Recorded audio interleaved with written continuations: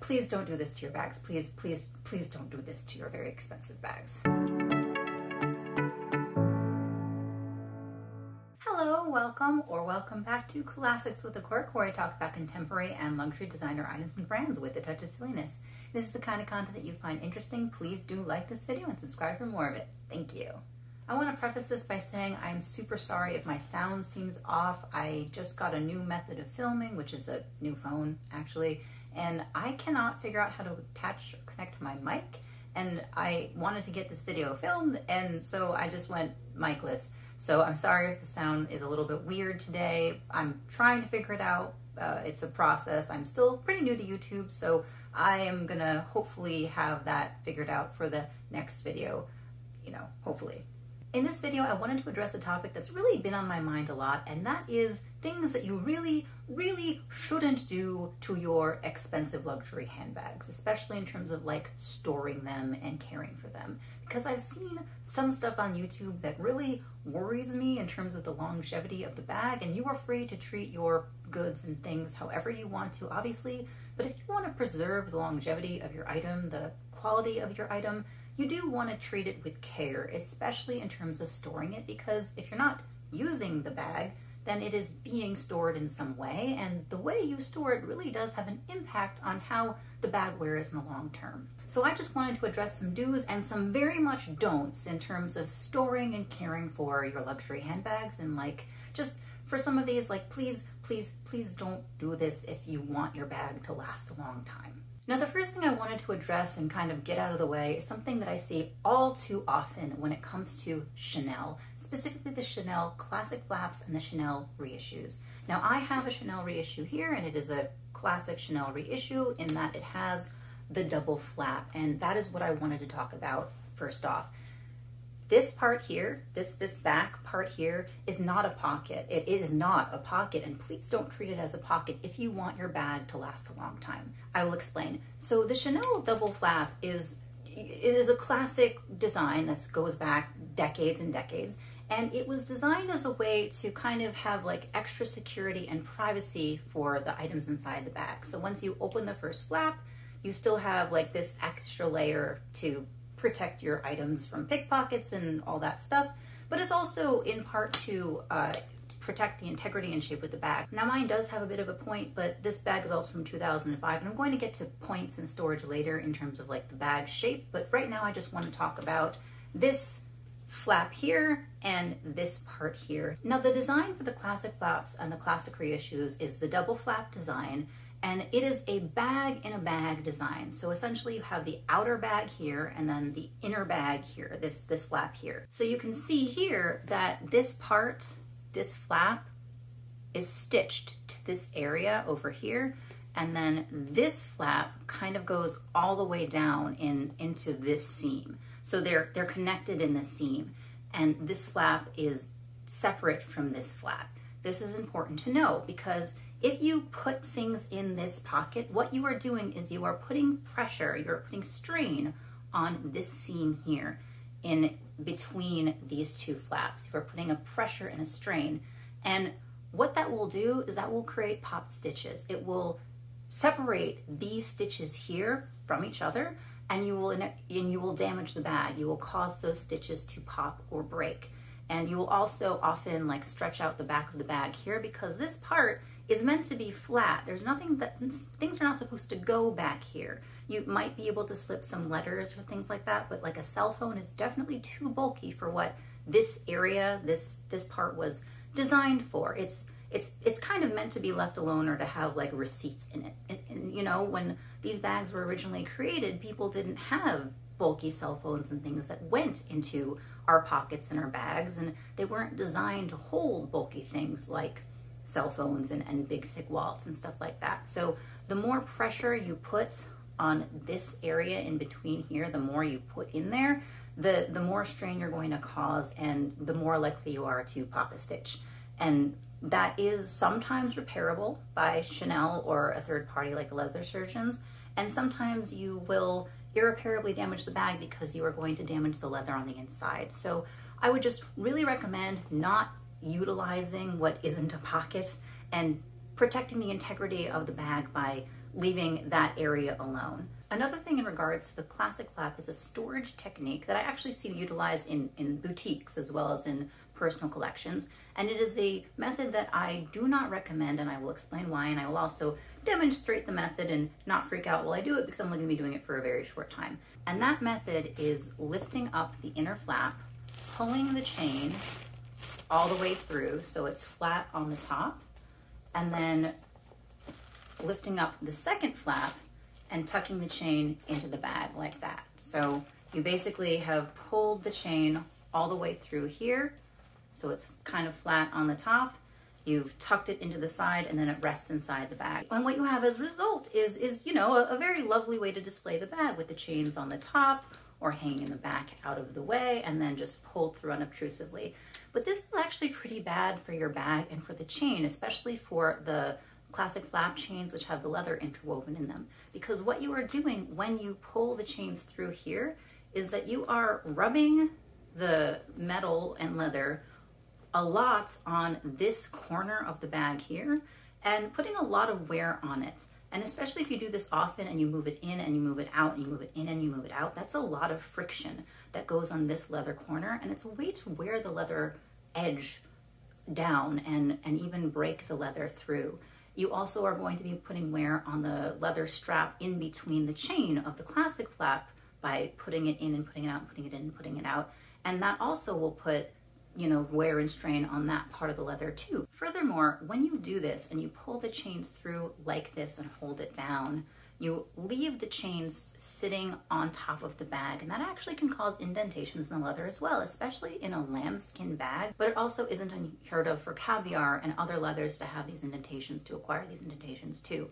So really what you want to do when you are storing a, a, bag like this is if you are storing it with the chain inside, you really want to wrap the handles, but the best method to storing a classic flap is to not store the chain inside the bag at all you really want to keep the chain outside of the bag and then use your storage technique to wrap the chain or hold the chain away from the bag. So for what I recommend when it is a double flap and you cannot store the chain inside the bag, or I, I, think you shouldn't store the chain inside the bag, is that you should make sure that you wrap the chain in some way, or if nothing else, use a dust bag or a cloth on the bag itself to provide some sort of barrier between the chain and the bag. Like obviously this is a kind of a slapdash method, but if you, you know, lay it nicely, you can, you can have the chain like falling in a way that it doesn't touch the leather, or you can also wrap the chain. If you get a modern classic flap or modern reissue, you get the white dust bag that has actually a flap inside of it that you can use to store the chain. So what you would do is you put the bag in one hand,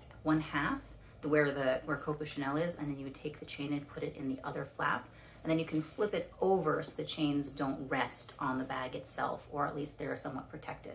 You can also wrap the chains in tissue paper. It kind of depends on what you want to do in order to protect your bag, but also maybe have it easily accessible. And I do understand that some of these methods might make the bag a little less accessible and e less easy to use and access, and that, that is fairly valid. If your storage method keeps you from using your bag, then it, a different storage method is, in, is important because you want to be able to use the bags and not have to be like, oh, I have to take it out of the packaging, I have to move it here, I have to do this. So it, it kind of is a, you know, figure out what works best for you. What works best for me is having a layer of cloth that folds down and provides a barrier between the chain and the leather. And that's what works best for me for the double flap type of bag. Some people do hang their bags from the chain strap, and that is something that I do not recommend either because, as I mentioned before, you will get a point. Now, the purpose of the double flap, aside from the privacy element, is to help maintain the shape and integrity of the bag. You have this flap that helps preserve this, you know, part from squishing in.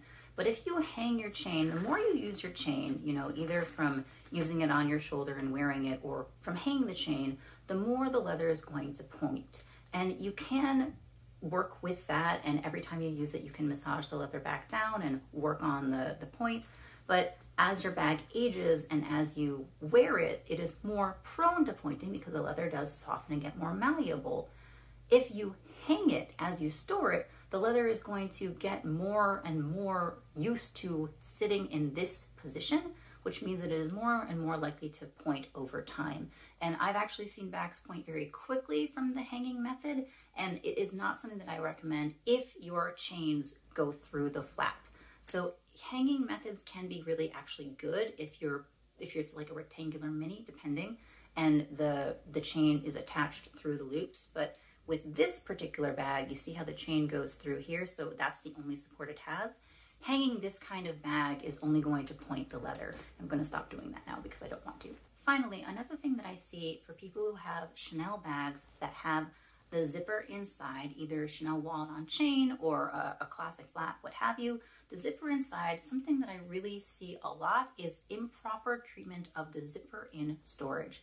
And what I mean is not using some sort of barrier between the flap and the zipper, and with the classic flaps also between the chain and the zipper. Because the bottom line is how these bags were designed, you have several parts of them that dig into the leather and rub against the leather constantly. And the more you have something rubbing against leather, the more likely the leather is to wear and soften and sometimes eventually rip. So you really want to do everything you can to avoid this, this continual wear of, of this flap. So what you really want to do is you really want to get some sort of barrier like a felt piece. And all of these bags do come with felt pieces in their packaging or you can often request them from your sales associates. If you're buying a bag pre-loved or it doesn't come with a felt piece, you can always buy felt and make this yourself. But what you really want to do is have this felt piece in between the flaps, tuck it down, make sure the zipper is tucked in and flat, and only then close the bag for storage. And that way you have the felt protecting the inner layer of leather from the zipper digging into it and from the chains digging into it. And you'll actually notice for older pieces or not very well kept pieces that you're going to have some smoothing of leather where the chains are. And you'll even sometimes see like deep grooves or scratches, especially in, in lambskin pieces. And that is really from improper storage and time. Now, you can't stop time. These bags are going to age and they can age beautifully if you store them and treat them right. But if you are using improper storage methods, they are much more likely to break down and wear through. Another thing I really strongly recommend if you have a classic flap, double flap with this button, the snap, is to either make sure that you have another piece of felt to cover the snap when you store it, or to not completely close the bag when you store it. Don't don't completely close it. And that is because the snap pushes against the leather every time the bag is fully closed. That was just how it was designed. This part here and this part here will push against each other. And if you don't have it snapped all the way shut, which is honestly kind of tricky to do and a little annoying and futzy, if you don't have it snapped all the way shut, this part won't meet this part all the way and it will press into the leather above it. And if you have a metal piece pressing constantly into a piece of leather, the metal piece will eventually create an indentation just like the zipper will create an indentation. And eventually that will wear through and create a hole in the leather. And holes in leather are much less repairable than say a pop stitch because you can resew a pop stitch, but once the leather has broken, it's very, very difficult, if not impossible to repair. So those are just some things that I wanted to share in terms of storing a Chanel classic flap or a classic reissue. Now, a lot of these things actually also apply to the Chanel wallet on chain, and that is because the Chanel wallet on chain also has a zipper. Now, you'll notice that my Chanel wallet on chain has something covering the zipper and a piece of tissue paper covering the fold down zipper as well. And that is because even though I've had the Chanel wallet on chain for quite some time now, since 2020, I am very careful about how I treat the zippers because you can often see the zipper is creating a divot in the leather down here, and that's regardless of whether it's lambskin or caviar. And I have seen Chanel WOCs having with this leather piece actually broken through, especially with older pieces. Now the new version of the Chanel on Chain, these zippers actually fold down. They're metal zippers that fold in place, and I think that's really awesome. Like, so they're not as uh, wiggly woggly as the previous zippers, and they're much more likely to stay in place because they fold down in place. But still, if you don't cover the zipper, it's going to rub against the leather, push into the leather, and the more it pushes against the leather, the more it is going to wear the leather down. and weaken it and weaken the structure of the leather and that will again damage it so whenever i store my chanel wad i make sure that i kept the I, it's so silly but i kept the little um, piece that covers the zipper when i first bought it and i also kept this you know tissue paper piece and so i always store it like that and if i had an older style chanel wad chain the kind with the snap button closure i wouldn't actually snap it closed to store it i would leave it open in the same way that i would leave the classic flap snap unsnapped but with the magnetic closure, it meets it instantaneously, which is actually really nice. It's just that you, you can't really leave it open unless you kind of make sure that it's open, because if you close it at all, it'll just snap shut. So I just suggest taking precautions in terms of covering the zipper both on the top and in the side to make sure that the zipper is protected from the leather and vice versa. Now, another thing I see in regards to the Chanel WOC, and in other bags too, this applies to all bags, but with the Chanel WOC it's just something that I see a lot and I don't suggest, is stuffing it. Now, the Chanel WOC is a beautiful little piece that has a divot on the bottom that folds up. And you can stand it up on, you can stand it up this way or you can stand it on its side and you can even hang it if you want to, although I wouldn't suggest it, but you could. This is a small bag and it doesn't need stuffing. It is a very structured piece and it doesn't need anything inside of it to hold its shape. Unless you like lie it on its side it's not going to really deflate especially if you take care of it properly. It's not that it's too small to sag but its size coupled with its built-in rigidity it's got a lot of support and structure in this little thing and that makes it a lot more likely to stand up on its own for a long long long long time. But i see people stuffing these and if you stuff a WOC that's already so small and is already so structured, you are much, much more likely to damage the leather, stretch out the leather, and bend the WOC out of shape. And you, once you stretch out leather, it cannot be unstretched. It's you you stretch mark uh, you stretch mark skin. It can't lose those stretch marks. It can't be unstretched. So stretching a leather piece out is damaging it to a point that it can't be repaired, at least in that capacity. Now, there are several different ways that people stuff their bags, and I utilize these ways too. You have bubble wrap, you have like tissue paper type paper, and air paper. These like things that come in, you know, packages that are just filled with air and very thin plastic. And I am a huge proponent of stuffing your bags in order to keep their shape because if you have a bag that doesn't have stuffing in it and it sits empty, the weight of the bag itself will cause it to slowly collapse over time, regardless of how structured it is, and sometimes even because it's very structured and big, like a Chanel Jumbo.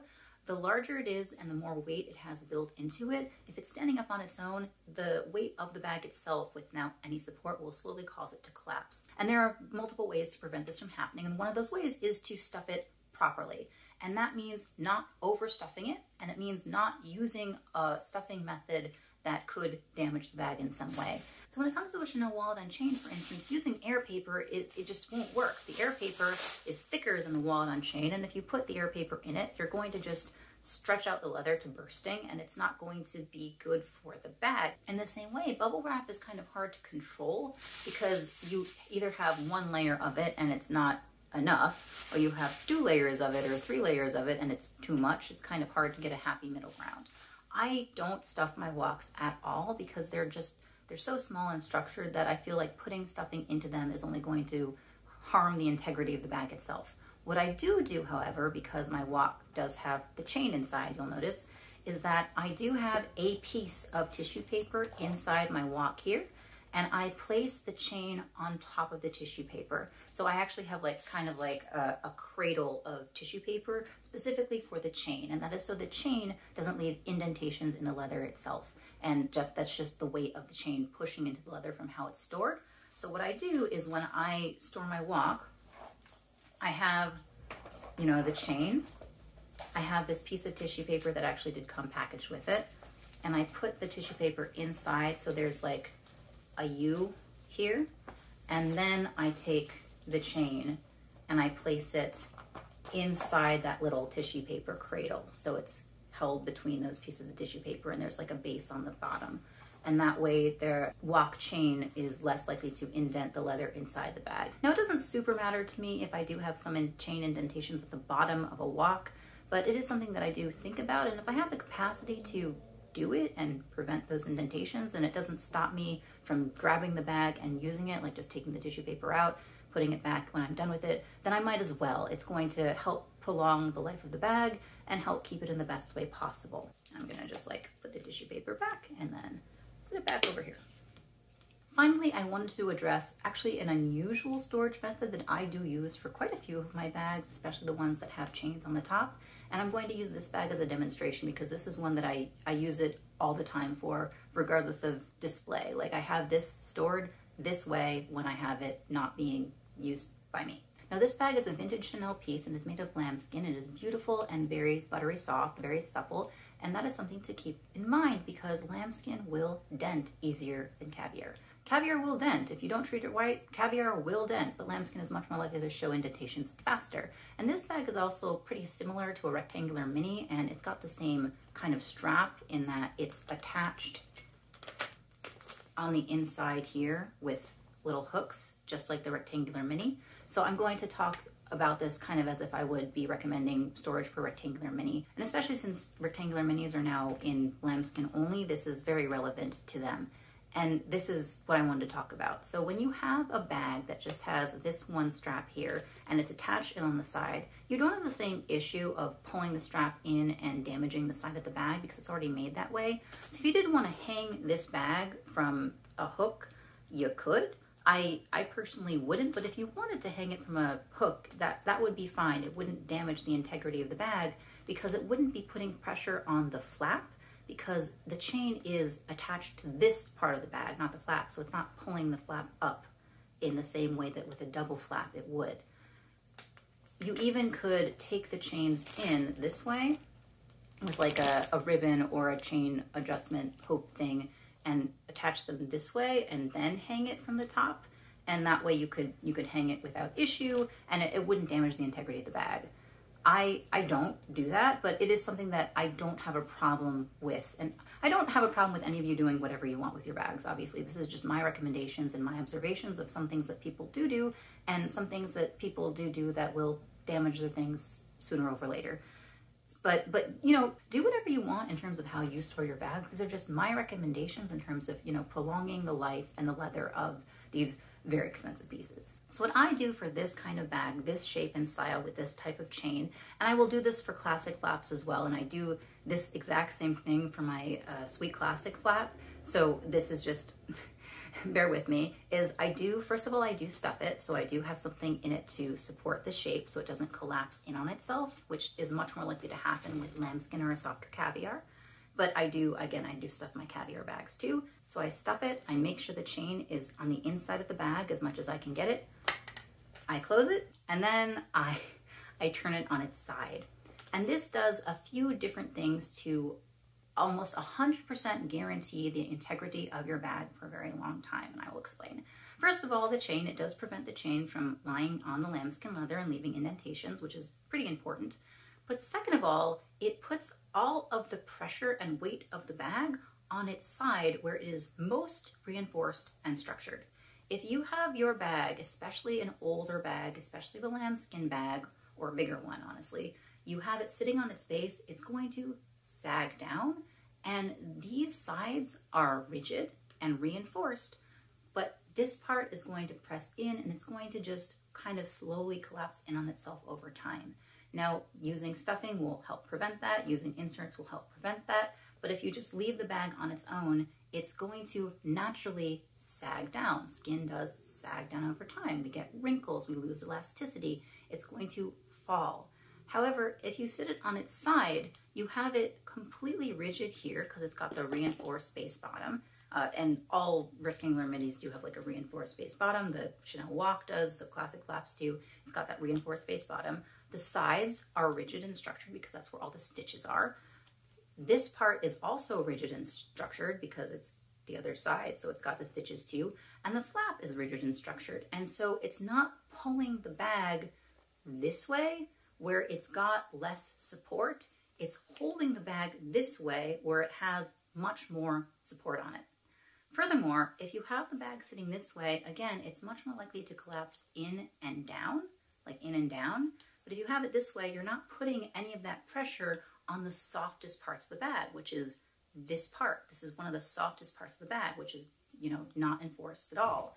And if you leave it on its side, you are making sure that you don't have pressures placed on areas of the bag that are much more likely to get damaged over time. Now, I do understand that this is kind of a very unusual method, and I actually learned this method a while back from my grandfather's things, which is a vintage Chanel dealer who mostly deals with vintage Chanel Dianas and who has a huge, huge knowledge base on vintage Chanel leathers and the care and treatment of these leathers that's collected over years and years of working with it. And I do trust their opinion on how they treat their leathers because it is their business, but it is also like their passion. And I have had nothing but good things to say about the methods that I've used in regards to what I've learned from them.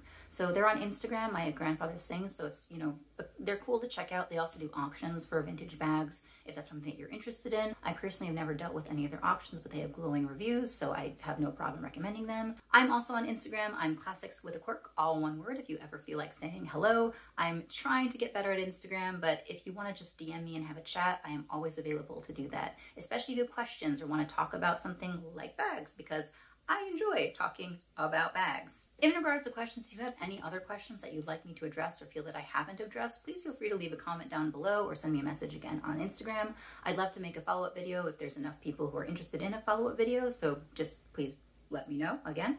I'm also interested in making another video on the care and storage of Louis Vuitton pieces, so if that's something that you're interested in, also let me know. I just kind of want to gauge interest here in doing that.